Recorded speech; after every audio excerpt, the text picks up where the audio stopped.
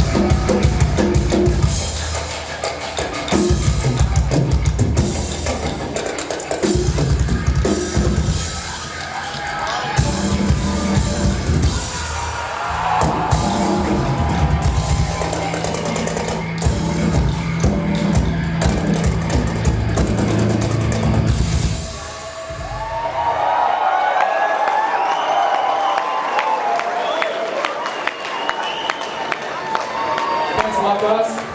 Got time for one more song.